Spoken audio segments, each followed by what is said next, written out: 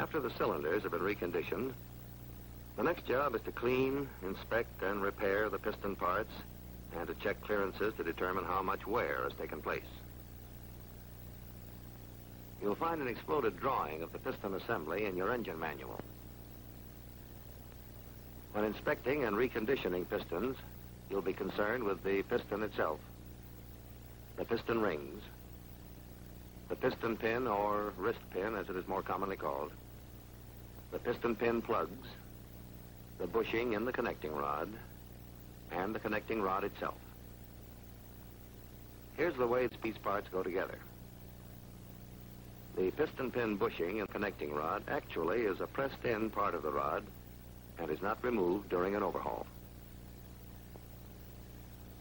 The connecting rod fits, fits into the piston in this manner. The piston pin plugs fit snugly into the ends of the piston pin, like this. The piston pin is then inserted through the piston and the connecting rod bushing and holds the piston to the connecting rod. The piston rings are installed around the piston.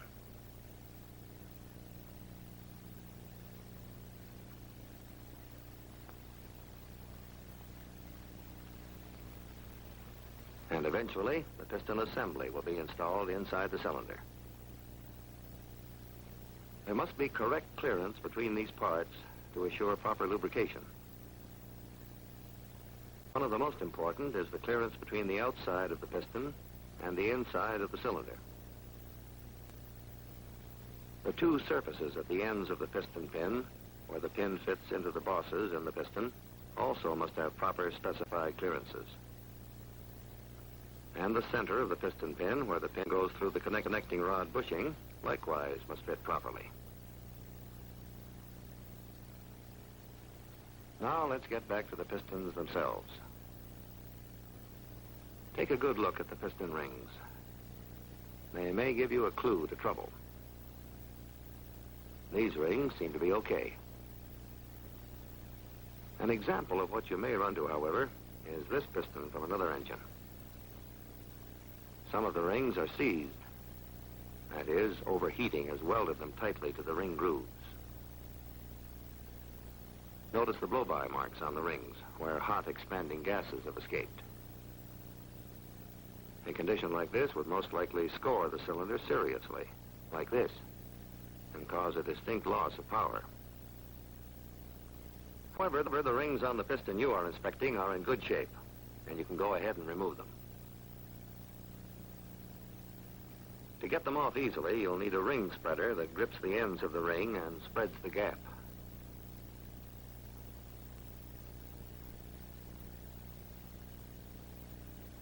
When you have all the rings off, you can start cleaning. And this is a lengthy job. The heaviest carbon can be loosened with a scraper. You can make a scraper by putting an edge on a piece of aluminum, like this one. If you make a scraper, be sure to use soft metal that won't scratch the piston.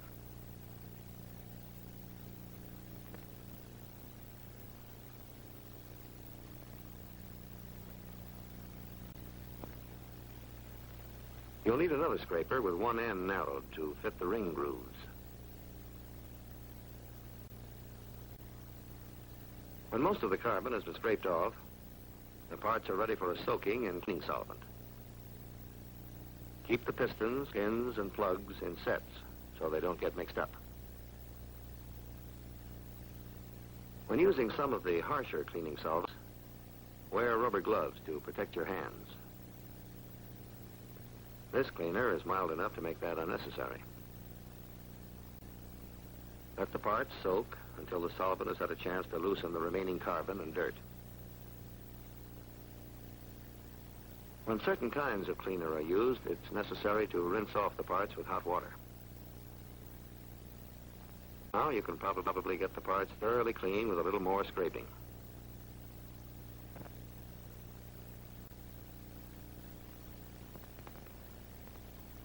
Getting think pistons that have had a lot of use clean is a painstaking job.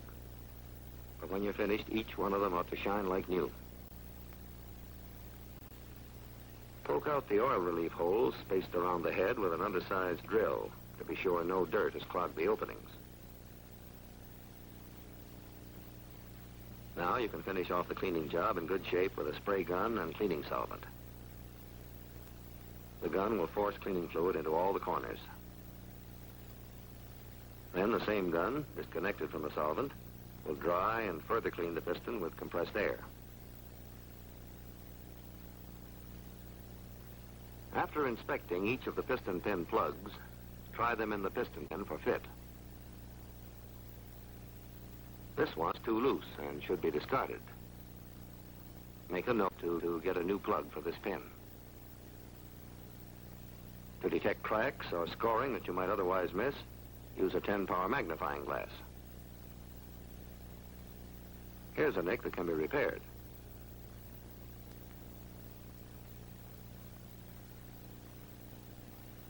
Use a fine stone dipped in oil to smooth the nick down, following the contour of the pin with the stone.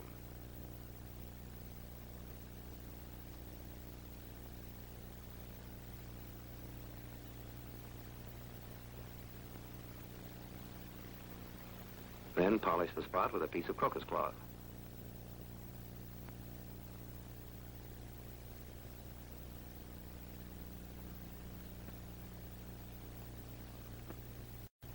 Now you want to check the piston pin for straightness. You'll need a dial indicator and a pair of V-blocks set up on a surface plate. Lay the pin in the V-blocks and place it directly under the indicator arm.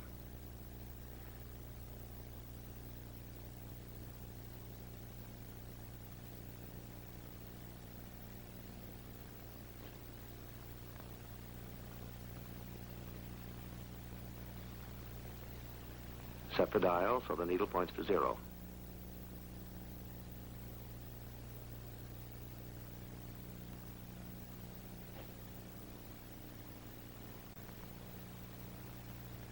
As you rotate the pin, watch the dial for any variation. This pin is perfectly straight. Next, you want to measure the diameter of the pin at each end, where it fits into the bosses in the piston and in the center, where it fits into the connecting rod bushing. You'll remember where these clearances are. Use a micrometer of the right size to get these diameters and have your check sheet handy to record them. You'll use a micrometer many, many times. And, in fact, a good deal of the effectiveness of the overhaul job will depend upon your skill in using this tool.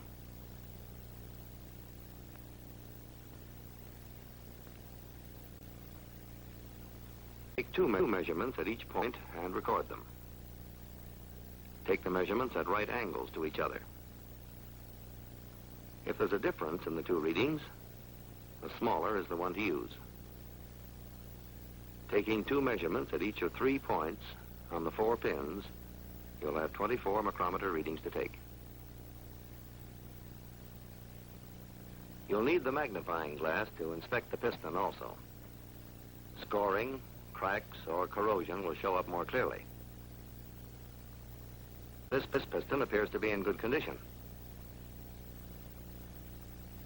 Now you want to be sure the clearance of the piston in the cylinder is satisfactory.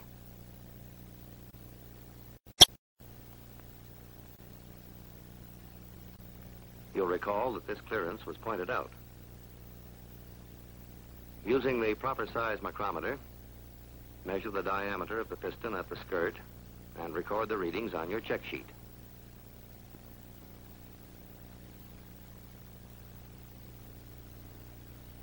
Take measurements at three points on the bearing surface of the piston at the skirt, and if there's any variation in the readings, use the smallest one. When you measure the cylinder, you recorded its skirt diameter. Now record the piston diameter and subtract to get the clearance.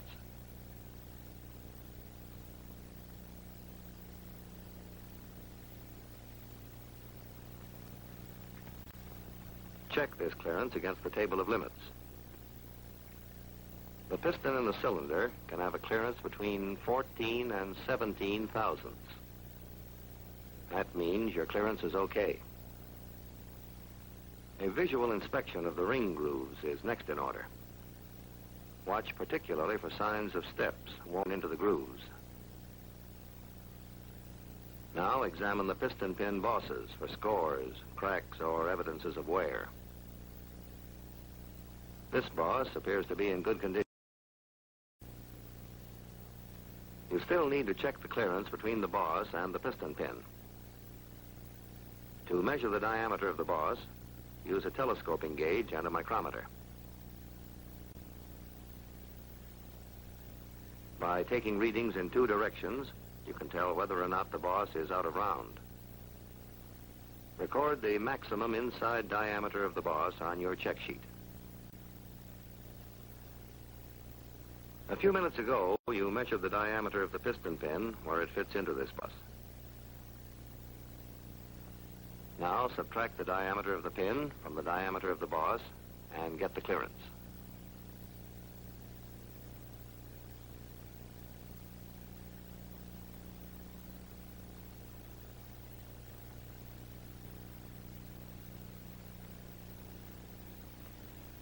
This clearance must then be checked with the table of limits to be sure it's satisfactory.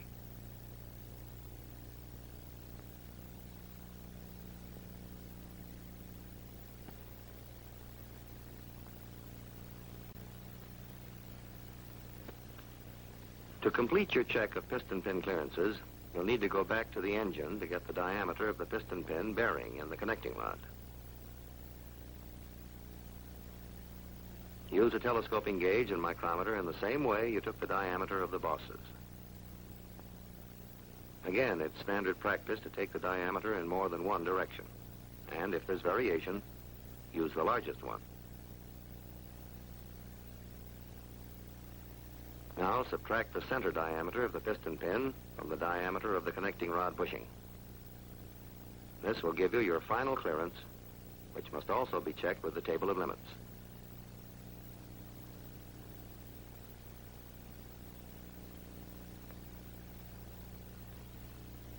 Your last job is to install new rings on the pistons. Each piston on this engine has four rings, two compression and two oil control rings. You'll have to check the gap of each of these rings. To do this, you'll need the cylinder.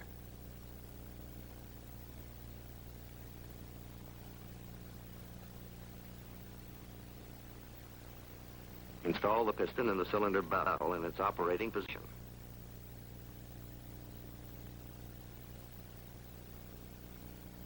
Now wipe the ring clean and dry so you'll get an accurate measurement.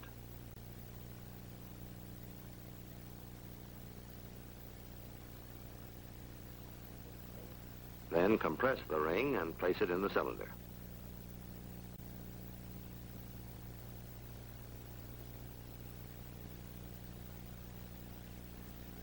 Pull the piston out so it will square up the ring.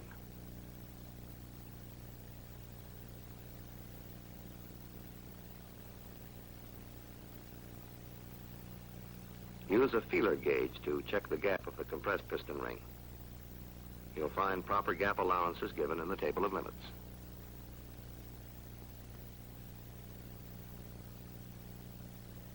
It's not unusual to find the gap too small. When you do, you'll have to file the ends of the ring down.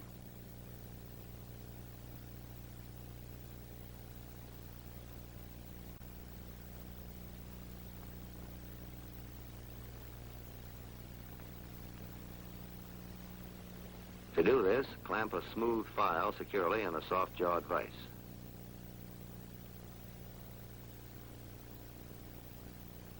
Then hold the ends of the ring squarely against the file so the ends will remain parallel and move the ring up and down. down.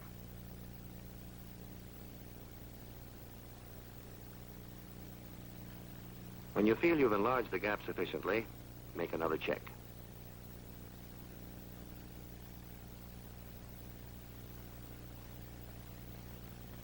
This ring is okay now.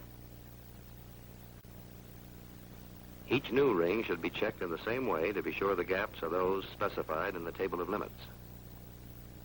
The next step is to install the rings. First, and down with the open end facing up. The right ring must be installed in the right groove.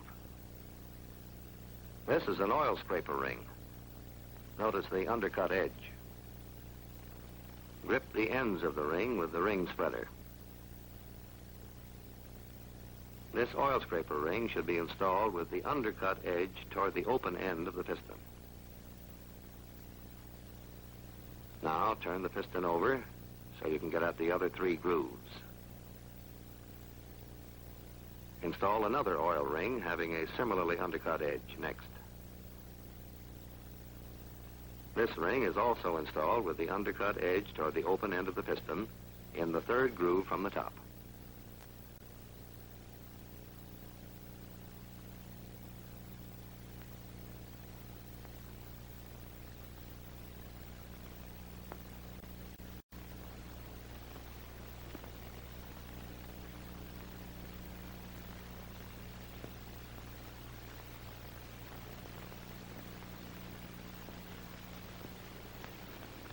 Next, install a plain compression ring in the second groove from the top.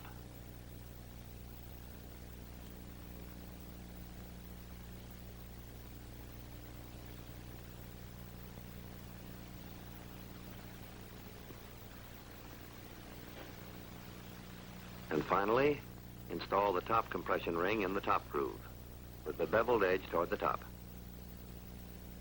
On some engines, the top of the ring is marked to avoid confusion.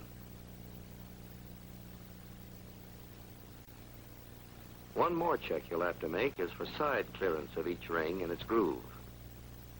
The allowable clearance for each ring is given in the table of limits.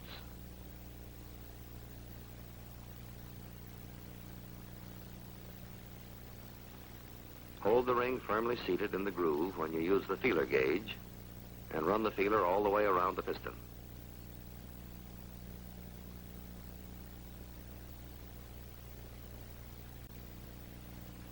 Top compression ring fits too tightly in the groove. The proper feeler gauge can't be inserted. That means the ring will have to be lapped. Use a smaller gauge to determine how much metal will have to be removed.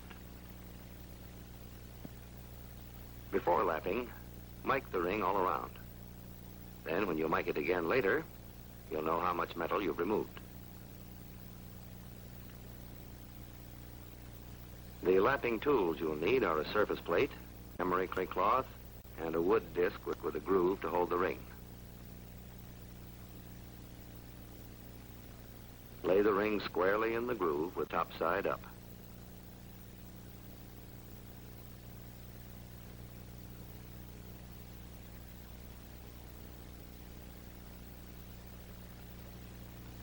Lap with a light touch, moving the ring evenly over the emery cloth.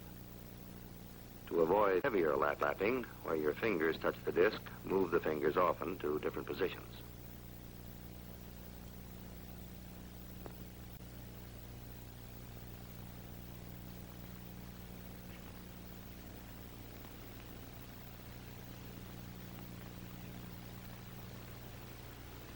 Check the ring frequently so you don't do much. Take it out of the disc and wipe it off before making it so you'll get an accurate measurement.